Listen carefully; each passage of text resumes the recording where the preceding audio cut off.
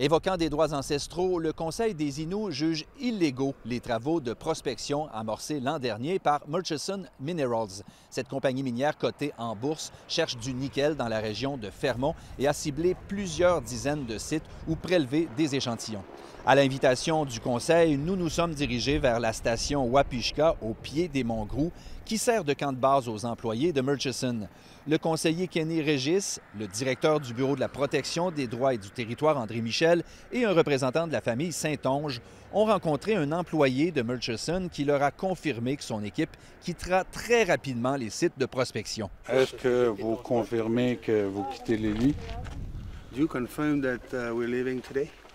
You're confirming that now?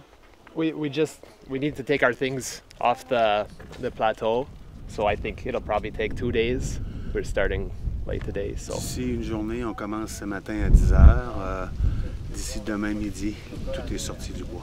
Je suis content de votre collaboration. La brève rencontre s'est terminée par une poignée de main à la satisfaction de Daniel Saint-Onge, membre d'une famille qui pratique des activités de chasse et de pêche sur ce territoire. Au bord des montagnes, là. Puis la montagne, c'est à nous autres aussi. Là, je suis très content qu'ils m'ont dit qu'ils vont s'en aller, là, deux, c'est deux jours. Très content parce que je veux que mon territoire soit intact. hein. L'an dernier, le Conseil des Inuits avait mis en demeure Murchison Minerals de cesser ses activités de prospection. Par la suite, la compagnie minière a fait une tentative de rapprochement ici, dans les locaux administratifs, mais sans succès.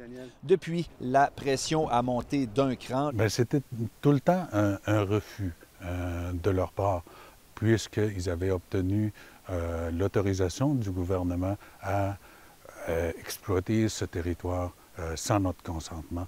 Alors, le Conseil a déjà indiqué que jamais il n'accepterait de mines sur le territoire des droits acquis par Murchison. Quant à la compagnie minière, elle n'a pas réagi aux événements et n'a pas donné suite à nos demandes d'entrevue.